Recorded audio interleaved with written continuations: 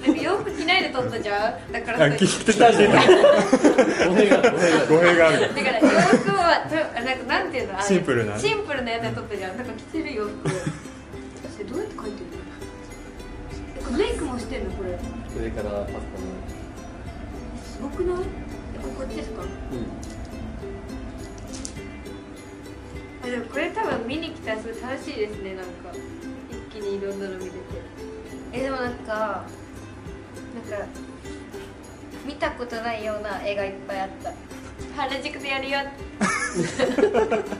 え これでいいの？日にち日にちは。日にちは。ゴールデンウィークらしいです。4月の28から。5月6日。5月の6日だよ嘘だよ本当だから夫それは本当あ、これは本当です。展示名。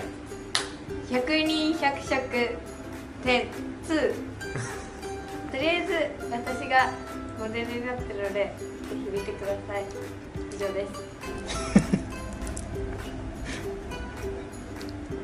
はいじゃあ OK OK です OK です